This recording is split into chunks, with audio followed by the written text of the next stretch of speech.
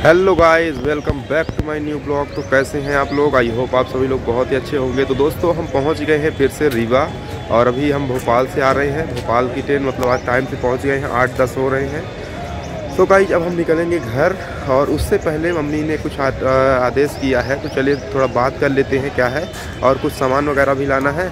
तो चलिए चलते हैं। तो आज फाइनली दो दिन बाद अब आ रहे हैं घर। लंबा टूर हो गया था मतलब। आना जाना इस समय दो तीन दिन से मतलब एक सप्ताह से मेरा आना जाना लगा था। तो चलिए चलते हैं। फ़िलहाल सभी लोग आ जा रहे हैं। रेलवे स्टेशन से तो निकल आया हूँ। अपनी बाइक रख के गया था। परसों जब मैं नानके छोड़ने गया था तो यही बाइक रेलवे स्टेशन में ही रख गया था।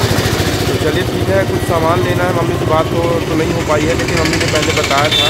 तो चलिए चलते हैं। अभी देखिए सब बस वगैरह निकल रही हैं धीरे धीरे चलिए हम चलते हैं हॉस्टल चौराहा। उससे पहले मंडी चलेंगे, मंडी में कुछ सब्ज़ियाँ वगैरह, उसके बाद फिर निकलेंगे घर।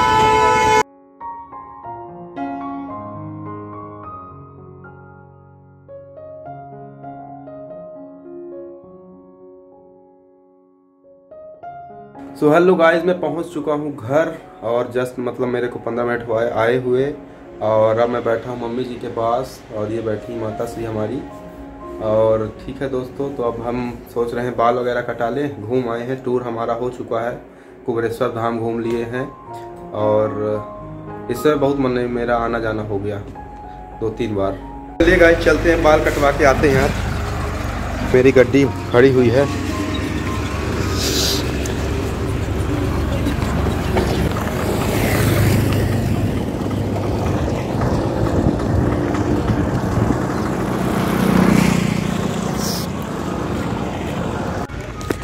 तो भाई दुकान उकान बंद है यार।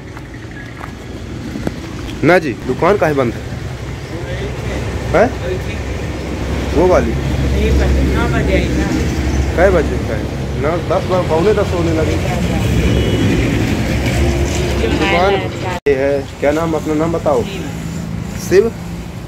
ये बहुत दिनों बाद इनको दिखा रहे हैं आपको फ़ोटो। में पिछली बार कहाँ दिखाए थे? कॉलोनी में मिले थे। हाँ। कॉलोनी में मिले थे और आज इनको आज दिखा रहे हैं।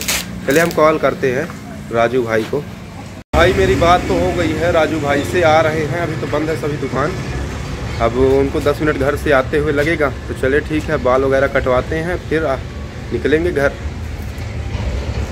सो so गाइज़ मैं नहा धो करके हो चुका हूँ रेडी और आ गया हूँ मैं मंदिर। बजरंग बली आज है मंगलवार और आज मंगलवार के दिन तो मैं बजरंग बली के यहाँ ज़रूर ही जाता हूँ। तो ये हमारे गाँव की मंदिर मैंने आपको पहले भी दिखाया है। तो चलिए अब हम पूजा पाठ करेंगे। ये हमने पूजा का सामान भी लिया हुआ है। फूल और पानी वगैरह सब है। तो चलिए करते हैं पूजा, फिर इसके बाद चलते हैं घर, फिर मिलते हैं आप लोगों से। सो गाइस शाम के बज रहे हैं छः और अभी मैं मतलब एक घंटा पहले उठा और एक काम मेरे को बन गया है अब। का जो कोचिंग पढ़ाती थी दो बच्चों को तो अब मेरे को वो ऊपर आ, मेरे ऊपर आ गया तो मैं पढ़ाऊँगा हो गया। तो चलो ठीक है। और ये बैठी हुई मम्मी श्री हमारी। ये सुन रही है भागवत वगैरह कुछ। तो अब तो क्या है मम्मी जी? हाल चाल हम सब बढ़िया? तो चलिए ठीक है गाइज़ आज का हम ब्लॉग यही यही एंड करते हैं। और आई होप आप सभी को ब्लॉग पसंद आया होगा। पसंद आए तो वीडियो को लाइक कर देना चैनल को सब्सक्राइब कर देना। मिलते हैं नेक्स्ट ब्लॉग में। तब तक के लिए थैंक यू सो मच